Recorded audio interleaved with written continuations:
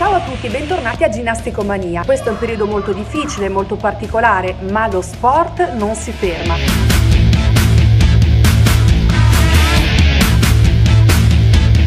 E in questa puntata di Ginnasticomania abbiamo alcuni ospiti speciali, oltre naturalmente a una ginnasta che tutti noi amiamo.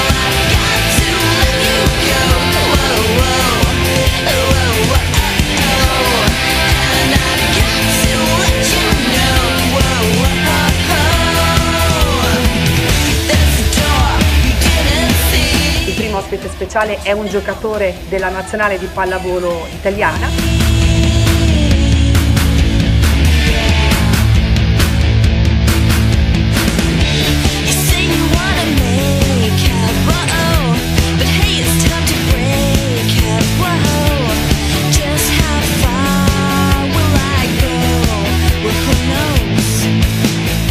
L'altro ospite speciale è un cantante che tutti adoriamo, Neck. Ma cominciamo la puntata con Desiree Carofiglio, medaglia di bronzo ai mondiali di Stoccarda. Desiree è stata molto molto carina e ci ha mandato dei video che ha realizzato per noi da casa sua, dove ci racconta come si svolgono le sue giornate in questo periodo molto particolare di autoisolamento e soprattutto come si sta allenando. Pensate che addirittura ha ricreato una palestra in casa sua e ha rivoluzionato l'intero design dell'arredamento.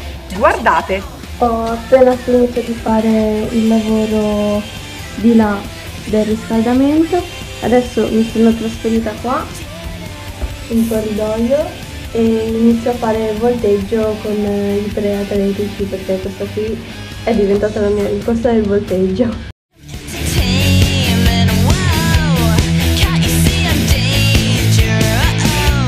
Questa qui è la mia sala barra palestra in questi giorni.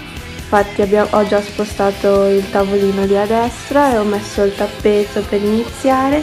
Lì c'è un cubetto che poi mi servirà dopo e di qua invece c'è un materasso della- di un letto e l'Airtrack che mi serviranno dopo per fare il lavoro di trave e corpo libero.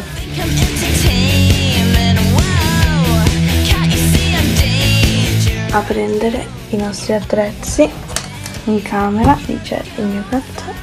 Questa qui è la postazione di mia sorella, sta facendo scuola, armadio, eccolo, stagio che adesso prenderò, lì poi c'è la striscia per la trave che userò dopo e andiamo a preparare la parallela.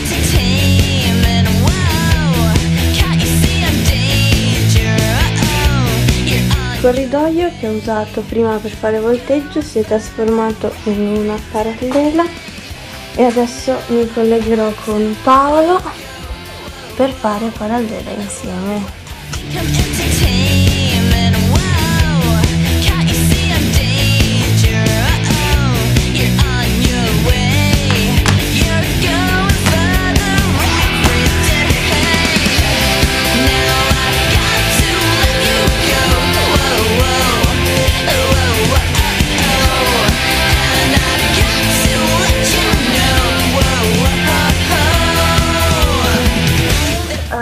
Come si può vedere ho appena finito allenamento per oggi. Le mie giornate in questi, in questi giorni più o meno come orari quelle che stavo facendo prima. Mi sveglio alle 7.20, faccio colazione, poi alle 9 inizio allenamento fino alle 12.30 barra 1, pausa fino alle 2, 2 e poi ricomincio con un workout eh, su YouTube e poi finisco il lavoro di trave e parallela cercando di fare ovviamente quello che si può qua facendo potenziamento e lavoro di base. Il pomeriggio invece alle 5 tengo io una o due lezioni online per eh, fare ginnastica con eh, le bambine che stavo allenando prima di questa quarantena e poi vabbè solito cena e si guarda un po' la tele. Per la questione delle Olimpiadi trovo che sia giusto che l'abbiano rimandata all'anno prossimo, anche se la preparazione adesso si allunga di nuovo di un anno. Si cerca di stare comunque concentrati sull'obiettivo perché l'obiettivo alla fine è cercare di andare alle Olimpiadi e niente, testa alta e si continua a lavorare anche da casa. Un bacio a tutti e ciao! Un omaggio, un saluto speciale proprio a loro azzurri, rivolto da un grandissimo artista, un amico, una persona speciale. Un saluto speciale a tutti quanti voi, amici atleti azzurri. Eh, questo semplice clip è solo per esortarvi a, a non mollare in questo momento tanto complicato eh, per tutti. Eh, serve la pazienza. La pazienza genera umiltà. L'umiltà ci fa chinare la testa, ci fa eh, stringere i denti, ci fa resistere. E voi di resistenza, di resilienza, di caparbietà eh, ne sapete qualcosa. Allora eh, usatele queste caratteristiche, mai come in questo momento vanno usate. Il prossimo anno eh, dimostrerete quello che valete. Noi tifosi siamo sempre con voi, saremo sempre con voi al vostro fianco, quindi forza. Dai, non bisogna mollare. Vi do un grande abbraccio. Dalla ginnastica artistica passiamo alla pallavolo e diamo naturalmente la parola a Oreste Cavuto, schiacciatore della nazionale italiana di pallavolo. Come hai preso questa notizia delle Olimpiadi slittate di un anno? Ciao a tutti ragazzi, come ben sappiamo l'Olimpiadi di Tokyo è stata rinviata di un anno, quindi si svolgerà nel 2021 e questo però sicuramente eh, non, eh, non farà scomparire il nostro, il nostro sogno olimpico. Il sogno olimpico è un sogno di tutti i giocatori e lavoriamo per questo, per, per inseguire i nostri sogni. E il fatto che sia stata spostata non cambierà i nostri obiettivi, anzi avremo molto più tempo per, per lavorare, per prepararla e arriveremo sicuramente a Tokyo 2021 eh, con, con maggiore esperienza, ovviamente si spera.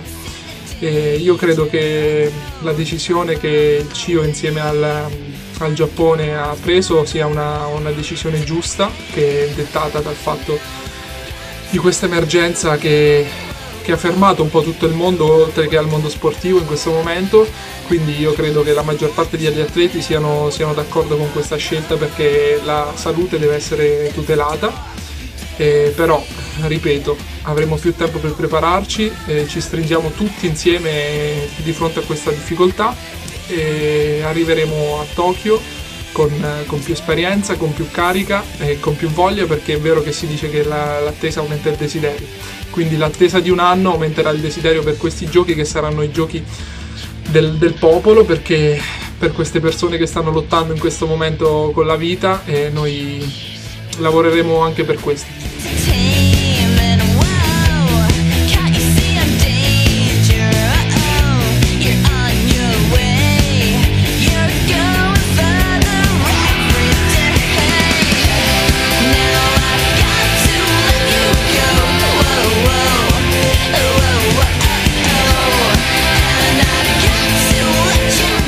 Oggi è tutto, vi do appuntamento alla prossima puntata. Buona ruota a tutti!